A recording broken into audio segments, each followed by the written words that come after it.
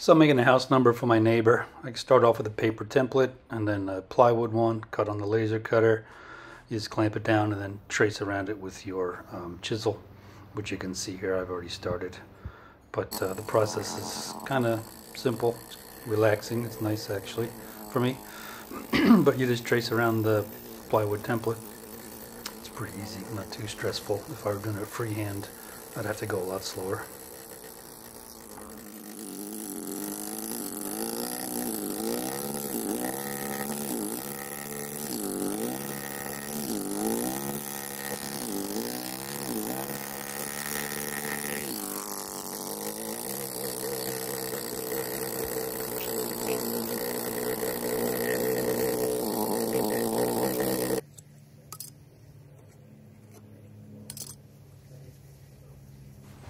With the numbers outlined, I removed the template and just uh, scrape away the chips and see where I'm at. I'll, I'll dig it down a little deeper and refine the edges um, freehand, but the, the template work is done at this point.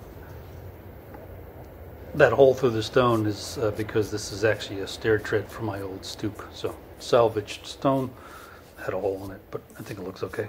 Looks kind of interesting.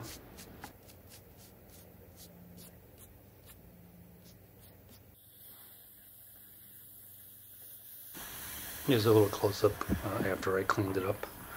That's all I do with the template.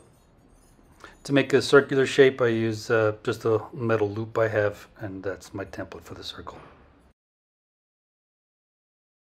You can see here the finished stone. It's what it looks like dry, and then if I clean it off, that's what it looks like wet. And finally here it is installed on my neighbor's uh, front yard.